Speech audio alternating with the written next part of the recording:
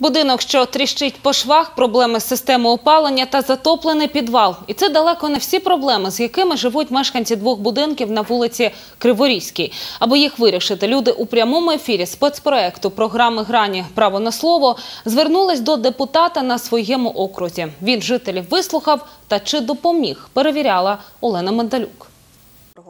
22 серпня спецпроект програми Грані право на слово на прямому зв'язку із депутатом на своєму окрузі мешканці двох будинків. В ефірі люди, які живуть за адресою Криворізька 22Б, скаржаться на тріщини на фасаді будівлі, а ще кажуть у жахливому стані стічні труби та взагалі відсутня зливова система. Если э, возьмет депутат, пожалуйста, пусть э, я с ним свяжусь, то есть я могу предоставить ему все документы, которые за 15 лет, куда мы обращались со своими проблемами. А от мешканців будинку номер 16А на тій самій вулиці непокоїть занедбані під'їзди, проблеми системи опалення та каналізацією. В титульных списках нету нашего дома. 16А он отсутствует. Вот. Но, в принципе, искали для того, чтобы канализация, уже сказали, ремонты сказали. И у нас есть еще одна большая проблема – это подвалы. Депутат Юрій Акуленко людей вислухав і запросив на прийом. Средняя адрес- школа 34, каждый второй и каждый четвертый четверг месяца, э, каждая среда, извиняюсь, я принимаю с 15 до 17 Можете часов. им помочь? Безусловно.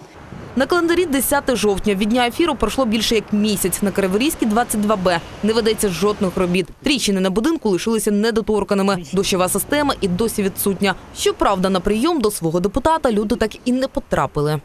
В принципе, если взять в плане 100%, то ни на 1% ничего не было. Ну, даже не, не то, что там сделано, даже поинтересоваться, что ж за вопросы. Після спілкування з депутатом у ефірі програми «Грані» мешканці будинку на Криворізькій 16А звернулися по допомогу до нього вже письмово. Ще на початку вересня лишили прохання відремонтувати під'їзди та замінити трубу теплопостачання. Реакції, кажуть люди, немає. Грибок у нас в подъездах страшный. Э, Подъезды, стыки между подъездом и домом текут, все затекает. И в подвале течет канализация. Куда только не обращались жильцы дома, а э, та, которая живет над подвалом. Вонь стоит жуткая, вонь стоит даже на улице.